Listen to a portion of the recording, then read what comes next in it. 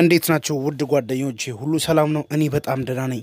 ኢትዮ አፕ 2012 የ YouTube ቻናል ነው። subscribe፣ like፣ dislike ማድረጋችሁን አትርሱ።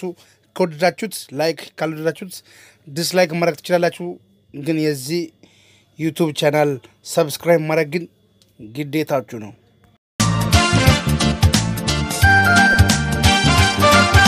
የዛሬ ትንታናችን የሚሆነው ሰሞኑ ዶናልድ ትራምፕ ምን ተናገሩ፣ ስለ ኢትዮጵያ ምን አወሩ የሚለው ይሆናል።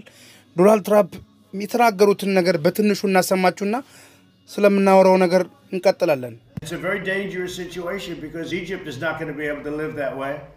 And they'll end up blowing up the dam. And I said it and I say it loud and clear. They'll blow up that dam and they have to do something because they could have stopped it. They should have stopped it long before it was started. I said, How do you let it get built and then you say they, they have a dam? ይሄ ኢትዮጵያውያንን ያስደነገጠው የትራምፕ ንግግር ብዙዎቹን እንዳስደመመ እናውቃለን። እና ከኢትዮጵያውያን የሚጠበቀው አንድ ነገር ብቻ ነው። የአሜሪካ ኤምባሲ በሚገኝበት ሀገራት ሁሉ ተቃውሞ ማሰማት መቻል አለብን። ይህንን ስናደርግ ነው አንድነታችን በዓለም ሕዝብ ላይ የሚረጋገጠው። ይህንን ማድረግ መቻል አለብን። ትራምፕ ተናግሮ ይተዋል እንጂ ትራምፕ ኢትዮጵያን አሜሪካ ሊያረጋት አይችልም። ኢትዮጵያን የሚመራው ዶክተር አብይ ነው። አሜሪካን የሚመራው እንዲሁም ትራምፕ ነው፣ አሁን እስካለ ድረስ ማለት ነው። ሰሞኑ በሁሉም ሀገራት ላይ እንዲሁም አፍሪካ፣ አውሮፓ ሰሞኑ በሁሉም ሀገራት እና በሁሉም state ላይ ተቃውሞ እንደሚያሰሙ ተነግሯል። እንዲሁም አፍሪካ ሀገር ያለን ኢትዮጵያውያኖች ሁሉ ተቃውሞ ማሰማት መቻል አለብን።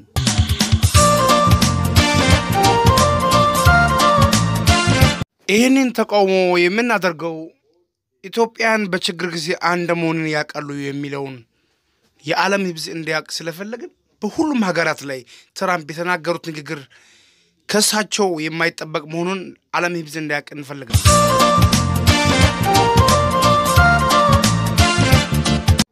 በአረብ ሀገራት እንዲሁም በአፍሪካ ሀገራት ያላችሁ ኢትዮጵያውያን ተቃውሞ ማሰማት ከዛሬ ጀምራችሁ ቀጥሉ። አውሮፓ ሀገራት almost ጨርሷሉ። በዚህ ሁለት ቀን ውስጥ የሚወጡ ናሉ። ስለዚህ ይህንን እንድታደርጉ የግሌን አስተዋጽኦ ለማድረግ ፈልጌ ነው።